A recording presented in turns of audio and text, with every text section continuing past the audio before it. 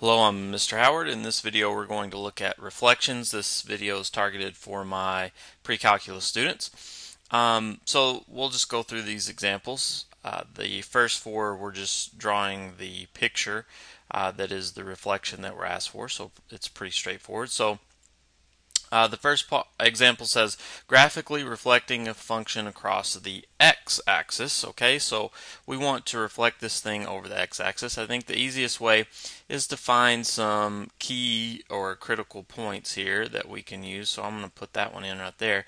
And we see the two endpoints already here. So this is just a semicircle basically. So if it's one, two, three, four away from the x-axis this way, it needs to be one, two, three, four away from the x-axis this way. So we'll put a point there. This point here is uh, we're we're lining it left and right. Uh, we're lining it up perfectly, and then we're just the distance. If we're reflecting over the x-axis, the distance from the x-axis is going to be the same on just it's this far from it here, so we need it the same distance here. That's all we're doing and then we're lining it left and right. We're just lining it straight straight up and down here. So uh, this is one away here, so it's going to be one away here. And we're one, two, three, four away here, so we need to be one, two, three, four away here. And this is not going to be perfect because it's pretty hard to draw on this, and uh, it would look something like that. Okay, not perfect, but good enough. Okay, next one says graphically reflecting a function across the y-axis. Okay, so same process applies up and down wise. We're just going to go straight across. Okay, but the um, the left and right distance needs to be the same uh, from the y-axis. So we're about one, two away here. So that point will be one, about two away here. And then this one's 1, 2, 3, 4, 5, 6, 7, just past 7. 1, 2, 3, 4, 5, 6, 7, just past 7 right there. And then a, a key point would be this one right here, and that's 1, 2, 3, 4, about 4 and a half, we'll call it. 1, 2, 3, 4, and about half.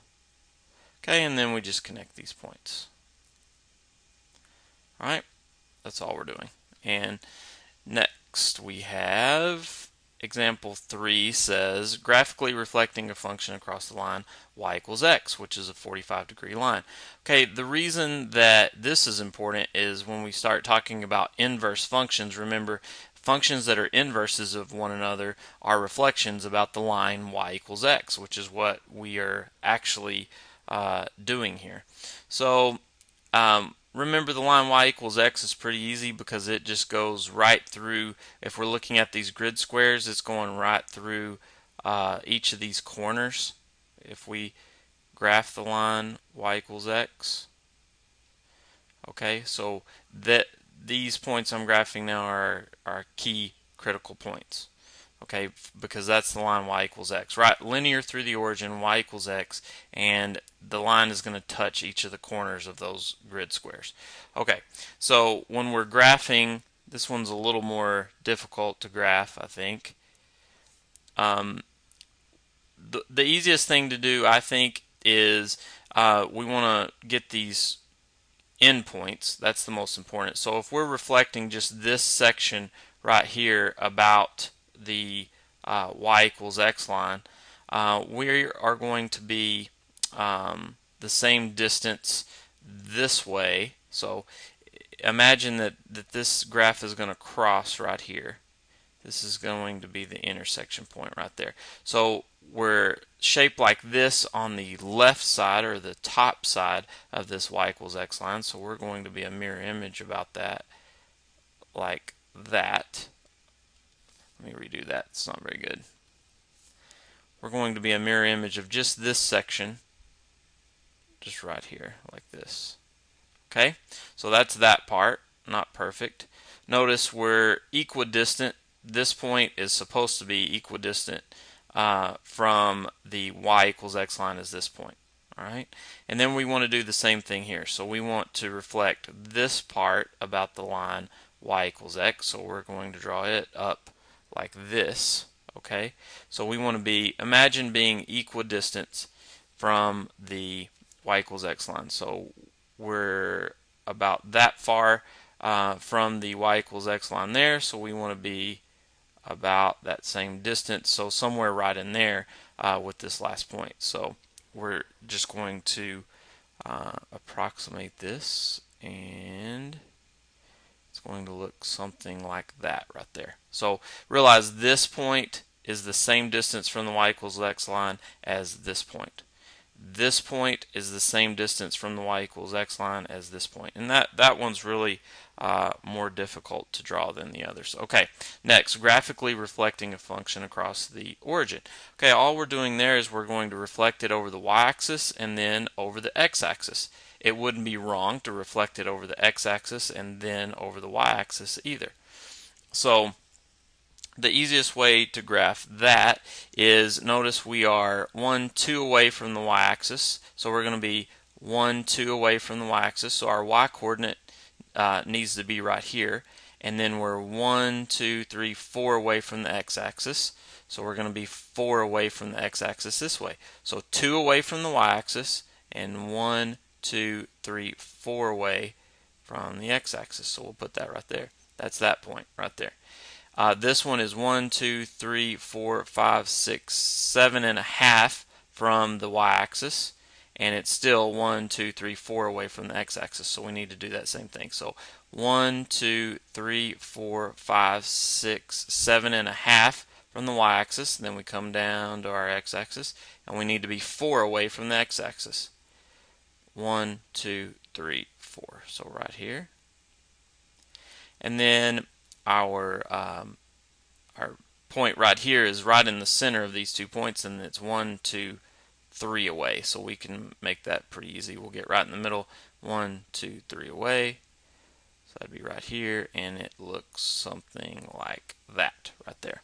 Okay, so that's reflecting over the origin. You flip it over the y-axis and then over the x-axis or vice versa. Either way, you're going to get the same result. If we flip this graph over the x-axis and then over the y-axis, we're still going to end right here. My drawing skills are not very good. I'm just as you can probably tell.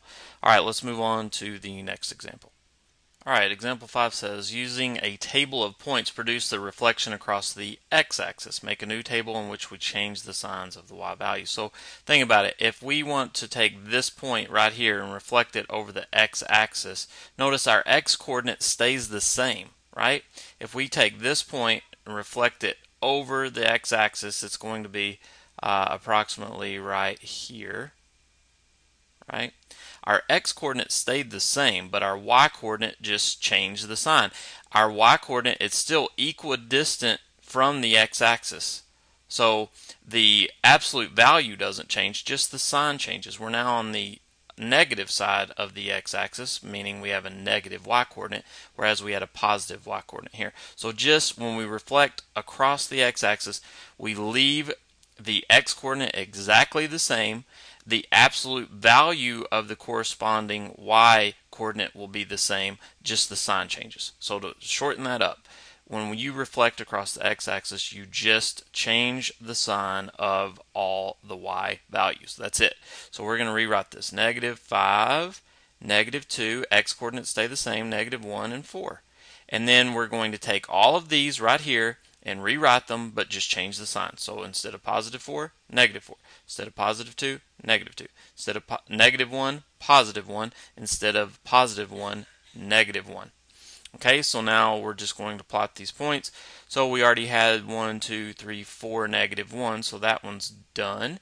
We need negative 1, uh, 1, so we go negative 1, 1, that's right there. That one's done. Negative 2, negative 2, negative 2, that one's done, and then negative 5, negative 4. 1, 2, 3, 4, 5, 1, 2, 3, 4.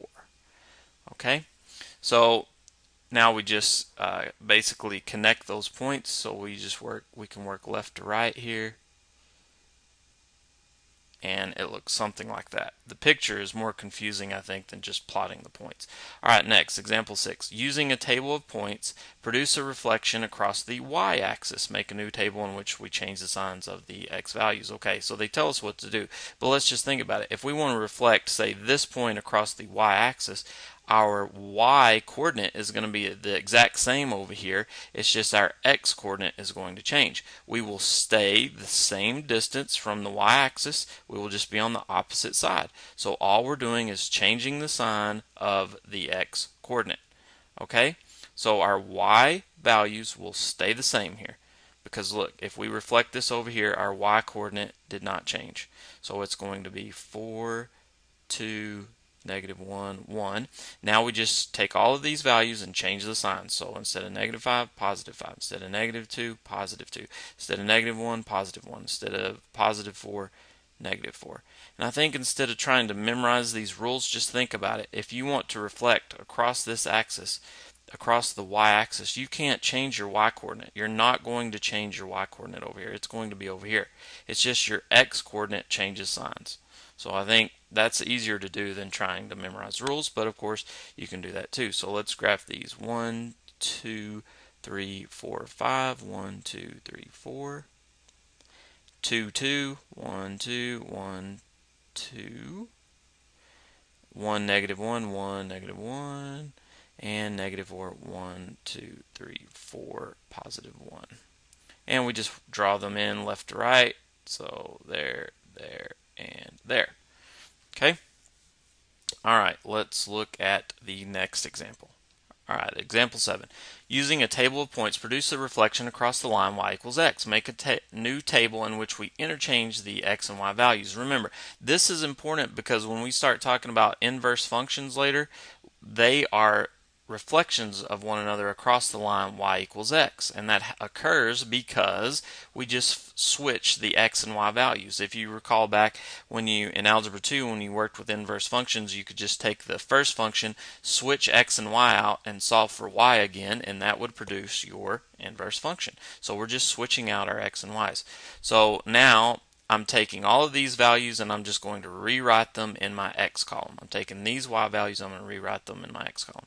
So 4, 2, negative 1, 1. I'm taking my x values here. I'm not changing the signs. Take my x values here and I'm going to plot them in my y column. So negative 5, negative 2, negative 1, and 4. It's that simple. Now let's just plot these points. So 4, negative 5. 1, 2, 3, 4. 1, 2, 3, 4, 5 right there. 2, negative 2, 1, 2, 1, 2, negative 1, negative 1, negative 1, negative 1. That's our intersection right there. Notice they're the same. Okay, so we're going to have that intersection point. And then we have uh, 1, 4 here. So that is going to be 1, 1, 2, 3, 4. Okay, and then we can just uh, work these uh, points in um, just like this. So we'll just connect these here, here, and here. Okay? All right, let's look at the next example. Quickly, too, I just want to discuss this y equals x um, quickly.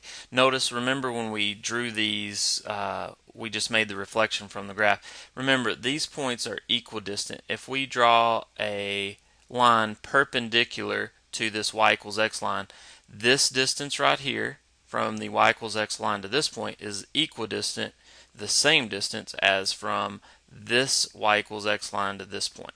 Okay, if we make a perpendicular bisector of this y equals x line, these are equidistant. That's an, an important symmetry to understand. So same thing here. This point, I hope you can see that. I'm going to darken that in. So if we draw a perpendicular bisector that's not a very good perpendicular bisector. But you see this point is equidistant from the y equals x line as this point right here from the y equals x line. These points are equidistant because they're right on the y equals x line, right? And then these, this point out here and this point out here would have the same distance if we draw between the points perpendicular bisector we will get the same distance okay Alright, last example, example 8. Using a table of points, produce a reflection across the origin. Make a new table in which we change the signs of both x and y. So our rule is we just change the signs of both x and y. So we're going to rewrite these coordinates the same uh, absolute value, just change the sign. So instead of negative 5, it's positive 5. Instead of negative 2, it's positive 2. Instead of negative 1, it's positive 1. Instead of positive 4, it's negative 4. Instead of, for our y coordinates now, instead of being positive 4, it's negative 4. Instead of positive 2, it's negative 2. Instead of negative 1, it's positive 1. Instead of positive 1, it's negative 1. So we just changed uh, the signs of everything. That's all that we're doing. So let's plot this and then we'll we'll kind of talk about why that happens. So 1, 2, 3, 4, 5. 1, 2, 3, 4, 5. Down 4. 1, 2, 3, 4. So there's a point. 2, negative 2. So that would be right there. Oops. Mess that one up. It's kind of hard to, these lines are too dark here. One, two, one, two, right there. Okay, and 1, 1, that would be 1, 1. And negative 4, that would be 1, 2, 3, 4, negative 1. Then we just connect these left to right, so something like that. Okay, looking at this picture, it looks pretty confusing. So let's talk about uh, as far as why we just change the coordinates, well, let's think about it. Let's pick a section that'll be pretty easy to talk about. I'm going to just pick this little section of my original graph. I'm going to draw back over it in pink, right here where it crosses the x-axis. Okay, so if I want just this section, let's talk about where this section in pink now ends up when we actually reflect it.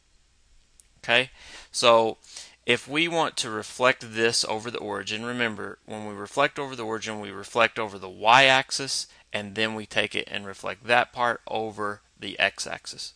So let's think about that. If we reflect the this section right here over the y-axis, all that we're going to do is we're going to change the sign of our x coordinate, right?